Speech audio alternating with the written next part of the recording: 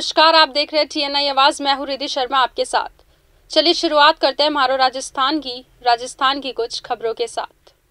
सिरोही के पिंडवाड़ा में रिश्वत के आरोप में गिरफ़्तार पिंडवाड़ा तहसीलदार कल्पेश जैन और भावरी के रेवेन्यू इंस्पेक्टर परबत सिंह राजपूत को एक दिन के रिमांड पर भेज दिया गया है। एसीबी यानी कि एंटी करप्शन ब्यूरो पाली ने शुक्रवार को यहाँ एसीबी की विशेष अदालत में दोनों को पेश किया। शनिवार को फिर पेश किया जाएगा। अब तक एसीबी की जाँच में सामने आया है कि बालोतरा के मूल निवासी तहसीलदार कल्पेश जैन परिवार के साथ पिंडवाड़ा में ही रहता है। उसने बाड़मेर ज़िले के बालोतरा स्थित अपना मकान किराए पर दे रखा है, जबकि बालोतरा में ही एक भूखंड भी ले रखा है। उसने अपने व अपनी पत्नी के नाम से कई बैंकों में 16 से अधिक खाते हैं। इन सभी बैंक खातों को एसीबी ने फ्रीज करवा दिया है।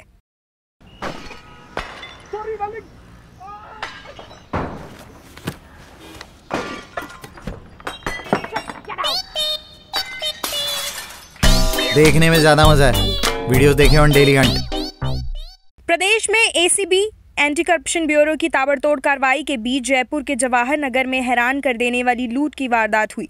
फिल्मी स्पेशल 26 के अंदाज में हुई इस लूट में एक घर में शुक्रवार दोपहर साढ़े बारह बजे एसीबी अफसर बनकर घुसे तीन बदमाश। एक फाइनेंसर दीपक शर्मा के घर से तेईस लाख रुपए लेकर फरार हो गए।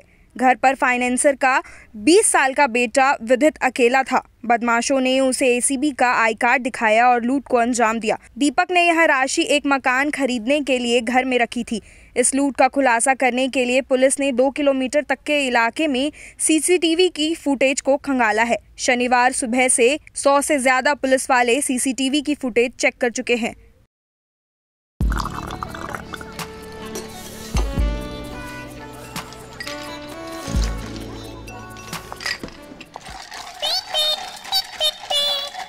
समझ अपनी भाषा में ही आता है। कंटेंट आपकी भाषा में ओनली ऑन डेली हंट बारा के आखाखेड़ी गाँव में अवैध संबंधों के चलते पति ने प्रेमी और उसके सहयोगी के साथ मिलकर पति की तलवार और कुल्हाड़ी मारकर हत्या कर दी। वारदात के बाद आरोपी पति अपने कमरे में जाकर आराम से सो गया। शुक्रवार को हुई इस घटना का पुलिस ने तीन घंटे में ही खुलासा कर दिया। मामले में मृतक की पत्नी, उसके प्रेमी और सहयोगी को गिरफ़्तार कर लिया गया।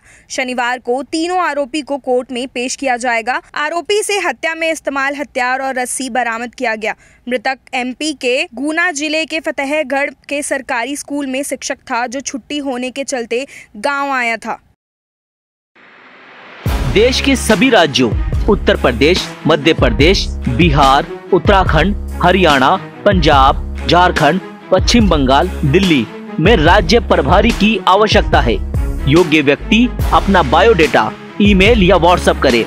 हमारा ईमेल पता है editor dot T N I Awaaz at the rate Gmail dot com हमारा व्हाट्सएप नंबर है seven six one zero eight double six double zero one T N I Awaaz आपकी आवाज़ के साथ। लेक सिटी में corona बेकाबू हो गया है। उदयपुर स्थित भारतीय प्रबंधन संस्थान, यानी कि आईआईएम में कोरोना के 29 नए संक्रमित मरीज़ मिले हैं।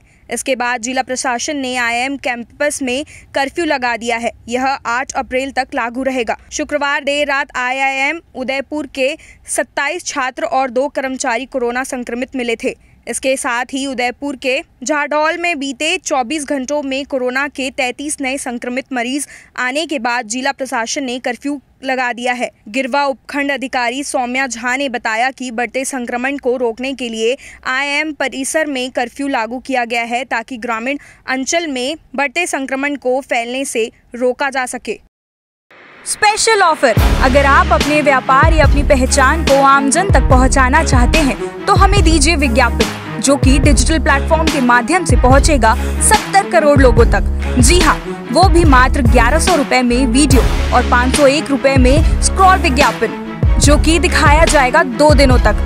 होलिका दहन 28 मार्च 2021 और रंगोत्सव 29 मार्च 2021 को। आप हमें टोल फ्री नंबर एक आठ शून्य शून्य चार दो शून्य तीन नौ नौ नौ पर कॉल भी कर सकते हैं। साथ ही हमें ईमेल करने के लिए आप editor dot T N I Awaaz at the rate Gmail dot com पर जा सकते हैं। आप हमें व्हाट्सएप भी सात छः एक शून्य आठ छः छः शून्य शून्य एक पर कर सकते हैं। तो इंतज़ार किस बात का? अभी बुक कराएँ अपना विज्ञापन। आपकी आवाज़ के साथ टी एन आई आवाज़। राजस्थान लोक सेवा आयोग ने 4 अप्रैल से होने वाली असिस्टेंट प्रोफेसर परीक्षा 2020 को स्थगित कर दिया। आयोग ने शनिवार को इस संबंध में आदेश जारी कर दिए हैं। आर्थिक रूप से कमज़ोर वर्ग यानी कि ई डब्ल्यू एस को आरक्षण के तहत आयु सीमा और शुल्क संबंधी रियायतें देने के लिए आयोग ने परीक्षा स्थगित की गई है। आयोग की संयुक्त सचिव नीतू यादव ने बताया कि कार्मिक विभाग आदेश मिला है। इसमें ईडब्ल्यूएस वर्ग के अभ्यर्थियों को आयु सीमा एवं आवेदन शुल्क संबंधित छूट दी जानी है। इसलिए आयोग ने 4 से 11 अप्रैल और 28 अप्रैल से 2 मई के बीच आयोजित होने वाली असिस्टेंट प्रोफेसर कॉलेज शिक्षा विभाग प्रतियोगी परीक्षा 2020 स्थगित कर दी है।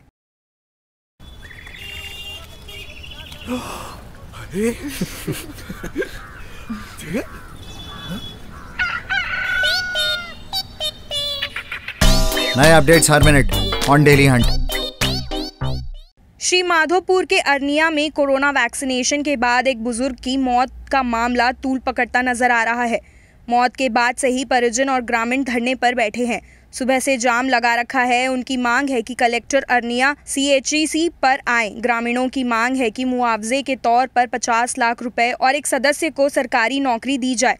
धरने को देखते हुए मौके पर आरपीएस ओम प्रकाश थाना अधिकारी दातर सिंह, मय जाप्ता तैनात तहसीलदार महिपाल सिंह रजावत सीओ बनवारी लाल दयाल मौजूद रहे। बता दें कि कल शाम शुक्रवार को अन्य केंद्र में मृतक रामेश्वर ने कोरोना वैक्सीनेशन लगवाया था। टीका लगवाते ही रामेश्वर की तबीयत खराब हो गई। जयपुर ले जाते समय रास्ते में उन्होंने दम तोड़ दिया था।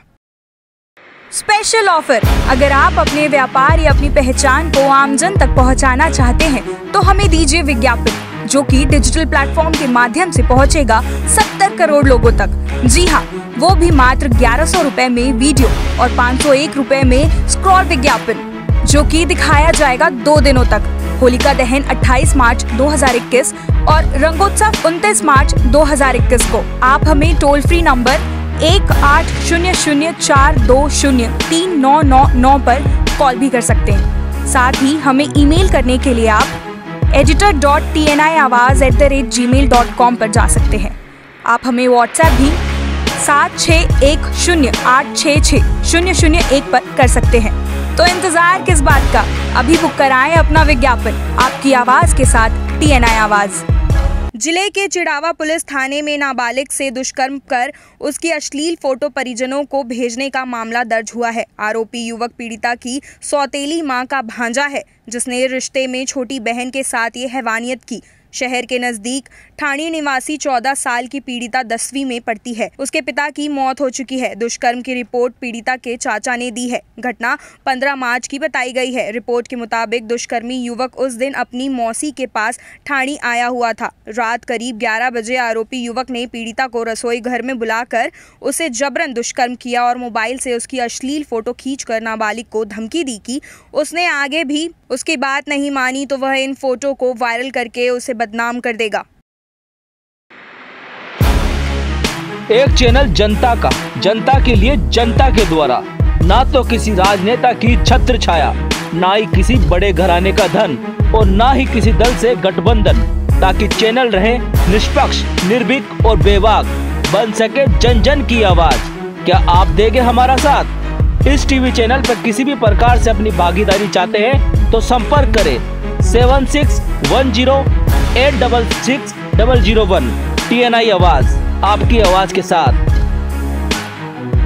सरकार ने हाल ही में बजट घोषणा में नए प्राइमरी स्कूल खोलने को लेकर अमल करना शुरू कर दिया है। इसके तहत प्रदेश में 27 नए सरकारी स्कूल खोलने को सरकार ने मंजूरी दे दी है। इसके तहत सीकर ज़िले में खंडेला और दाता रामगढ़ विधानसभा में एक एक स्कूल खोले जाएँगे। शिक्षा विभाग के आयोजन शाखा की ओर से जारी लिस्ट में साफ़ कहा गया है कि दाता रामगढ़ की रूपगढ़ ग्राम पंचायत में और खंडेला की जुगलपुरा पंचायत की खड़ोलिया गाँव में स्कूल खुलेंगे। बता दें कि शिक्षा मंत्री भी सीकर के लक्ष्मणगढ़ विधायक गोविंद सिंह डोटासारा हैं।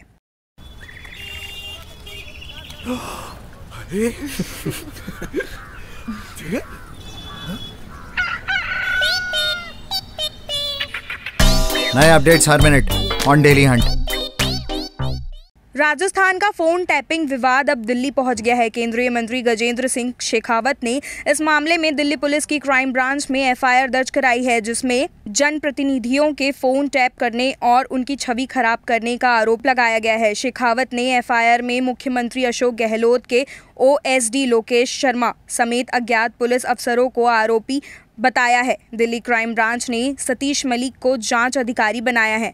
एफआईआर का आधार राजस्थान के संसदीय कार्य मंत्री शांति धारीवाल के बयान को बनाया गया है। धारीवाल ने कहा था कि ऑडियो मुख्यमंत्री के ओएसडी ने वायरल किए थे। फ़िलहाल के लिए बस इतना ही। बाकी देश और दुनिया की तमाम खबरें देखने के लिए देखते रहिए टीएनआई आवाज़।